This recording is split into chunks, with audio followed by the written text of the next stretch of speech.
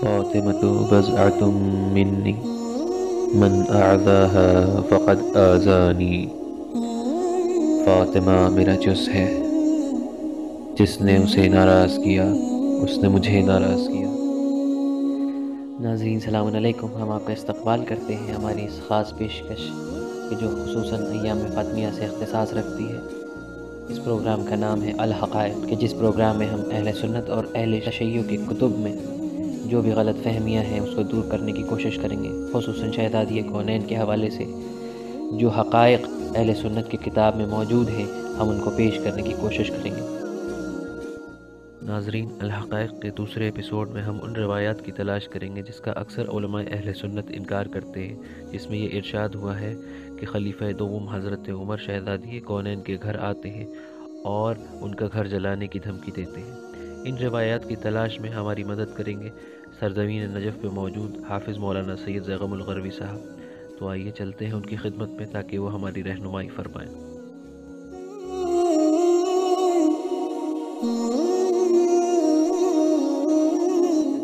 دوستان عزیز، وہ گھر کے جو انبیاء کے گھروں سے افضل ہو، وہ گھر کے جس کے بارے میں اتنی فضیلتیں موجود ہوں کیا سزاوار ہے اس گھر پہ آگ لگائی جائے؟ کیا سزاوار ہے اس گھر پہ ہجوم لایا جائے؟ کیا سزاوار ہے اس گھر کو جلانے کی دھمکیاں دی جائیں اب ہم بعض ایسے شواہد پیش کریں گے کہ جن سے یہ ثابت ہوتا ہے کہ دستگاہ خلافت نے اپنی حکومت کو مضبوط کرنے کے لیے حضرت زہرہ سلام اللہ علیہ کے گھر پہ حملہ کرنے کی دھمکی دی۔ دلیل اول، ابن ابی شیبہ، جو کہ امام بخاری کے استاد ہیں۔ یہ اپنی کتاب المصنف جل نمبر سات، صفحہ نمبر چار سو تینتیس، کتاب المغازی اور اسی طریقے سے سیوطی۔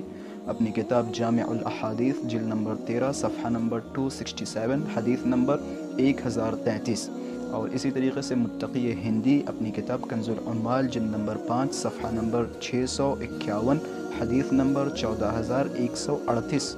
كتاب الخلافة میں ایک روایت نقل کرتے ہیں وہ روایت ملاحظہ فرمائیں روایت نقل کرتے ہیں کہ انہو حین بویع لأبی بکر بعد رسول الله كان علي والزبير يدخلان على فاطمة بنت رسول الله فيشاورونها ويرتجعون في أمرهم. روایت کا خلاصہ یہ ہے کہ رسول اللہ صلی اللہ علیہ وآلہ وسلم کے بعد جب ابو بکر کی بیعت کی گئی تو امیر المؤمنین اور زبیر نے ابو بکر کی بیعت سے انکار کیا اور حضرت زہرہ سلام اللہ علیہ کے گھر میں آگے اور حضرت زہرہ سلام اللہ علیہ سے مشورت کی۔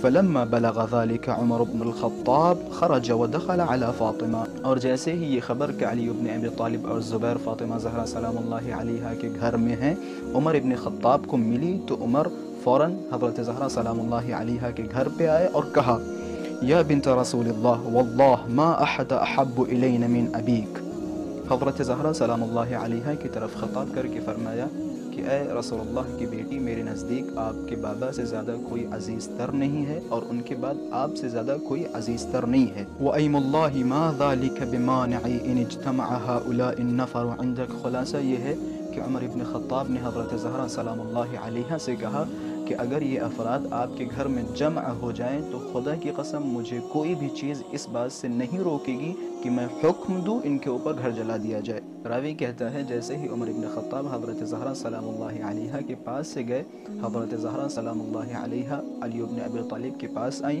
اور علی ابن ابی طالب سے فرمایا، عمر ابن خطاب نے اللہ کی قسم کھائی ہے لَإِنْ عُدْتُمْ لَيَحْرِقَنَّ عَلَيْكُمُ الْبَيْتِ اگر آپ لوگوں نے دشمنی کی تو آپ لوگوں پر دروازہ جلا دیں گے اور جالب یہ ہے کہ اسی روایت کو ابن عبد البر اپنی کتاب استعاب جلد نمبر دو، صفحہ نمبر ایک سو اکیس اور صفدی اپنی کتاب الواف الوافیات جلد نمبر سترہ، صفحہ نمبر تین سو گیارہ میں اسی روایت کو مختلف الفاظ کے ساتھ نقل کرتے جہاں پہ یہ لفظ آپ حضرات دقت کریں، جہاں پہ یہ لفظ تھا ان امرتهم ان يحرق عليهم البيت، وہاں پہ انہوں نے لافعلن ولافعلن کا اضافہ کر دیا۔ یعنی جو لفظ تھا عمر ابن خطاب کا کہ میں حکم دوں گا کہ ان کے اوپر دروازہ جلا دیا جائے، اس جگہ پہ انہوں نے لکھا لافعلن لافعلن یعنی چنین و چنان کر دوں گا۔ اور جہاں پہ لفظ تھا لئن عدتم لیحرقن علیکم البیت اگر تم لوگوں نے دشمنی کی تو میں تم لوگوں پہ دروازہ جلا دوں گا۔ اس جگہ پہ انہوں نے لکھا لیفعلن یعنی چنین و چنان کروں گا۔ خلاصہ، ان دونوں افراد نے ابن عبد البر اور صفدی نے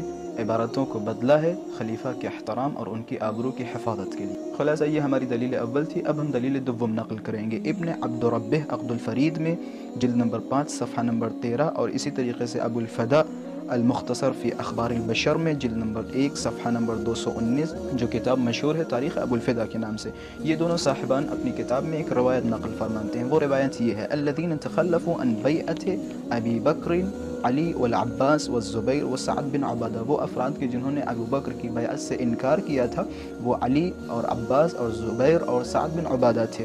روایت کے آگے کے الفاظ یہ ہیں فأما علي والعباس والزبير فقعدوا في بيت فاطمة حتى بعث إليهم أبو بكر عمر بن خطاب ليخرجوا من بيت فاطمة. يعني علي بن أبي طالب أو عباس أو زبير فاطمة زهرة سلام الله عليها كجهر من جمع هويته. أبو بكر من عمر بن خطاب كو حكم ديا كجاو إن أفراد كو زبردستي فاطمة زهرة سلام الله عليها كجهر سے باہر نکلو اگر یہ أفراد باهر نہ نکلیں تو جملہ یہ ہے إن ابو فقاتلهم. اگر یہ بیعت سے انکار کریں تو إن لوگوں کو قتل كردو. آگے فرمانتے ہیں، فَأَقْبَلَ بِقَبَسٍ مِّن نَارِ عَلَىٰ أَن يَضْرِمَ عَلَيْهِمُ الدَّارِ۔ کہتے ہیں، عمر ابن خطاب نے اپنے ہاتھوں میں آگ لی تاکہ اس گھر کو جلایا جا سکے۔ جیسے ہی گھر پہ پہنچے تو ان کی ملاقات فاطمہ زہرہ سلام اللہ علیہ سے ہوئی۔ فاطمہ زہرہ سلام اللہ علیہ نے جیسے ہی عمر ابن خطاب کو دیکھا کہ عمر ابن خطاب کے ہاتھوں میں آگ و لکڑی ہے، تو فاطمہ زہرہ سلام اللہ علیہ نے عمر ابن خطاب کی طرف خطاب کر کے فرمایا یبن الخطاب جئت لتحرق دارنا؟ آیا تم آئے ہو تاکہ میرے گھر کو جلاؤ؟ عمر ابن خطاب نے جواب دیا جی ہاں میں آپ کے گھر کو جلانے کے لیے آیا ہوں، مگر یہ کہ یہ افراد اسی حکم میں داخل ہو جائیں کہ جس حکم میں امت داخل ہوئی ہے یعنی جو امت نے کیا ہے، وہی یہ افراد بھی کر لیں یعنی بیعت ابو بکر۔ بس واضح ہو گیا کہ حضرت علی ابن ابی طالب اور حضرت زہرہ سلام اللہ علیہ کے گھر کو جلانے کی دھمکیاں دی گئیں۔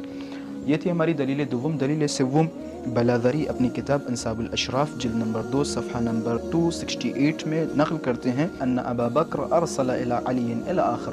کہتے ہیں ابو بکر نے علی ابن ابی طالب کی طرف کسی آدمی کو بھیجا تاکہ بیعت کریں۔ علی ابن ابی طالب نے بیعت سے انکار کیا۔ جیسے ہی علی ابن ابی طالب نے بیعت سے انکار کیا، عمر ابن خطاب آگ و لکڑی کے ساتھ حضرت زہرہ سلام اللہ علیہ کے گھر پہ وارد ہوئے۔ جیسے ہی حضرت زہرہ سلام اللہ علیہ سے ملاقات ہوئی، حضرت زہرہ سلام اللہ علیہ نے عمر ابن خطاب کو خطاب کر کے فرمایا یبن الخطاب، اے خطاب کے بیٹے، کیا تم آئے ہو میرے گھر کو جلانے کے لیے؟ تو عمر ابن خطاب نے جواب دیا جی ہاں میں آپ کے گھر کو جلانے کے لیے آیا ہوں۔ دوستان عزیز، ہم نے اس مختصر سے برنامے میں کچھ شواہد و قرائن آپ کے سامنے پیش کیے کہ جن سے یہ ثابت و ظاہر ہوتا ہے کہ وہ گھر جس گھر پہ رسول اللہ سلام کیا کرتے تھے، وہ گھر جو انبیاء کے گھروں سے افضل ہے یعنی فاطمہ زہرہ سلام اللہ علیہ کا گھر، اس گھر کو خلفائی وقت کی طرف سے دھمکیاں دی گئیں۔ اس گھر پہ آگ و لکڑی لائی گئی، اس گھر کے اوپر ہجوم کیا گیا اور یہ کہا گیا، اگر یہ افراد ابو بکر کی بیعت نہ کریں تو ہم ان افراد کے سمیت اس گھر کو جلا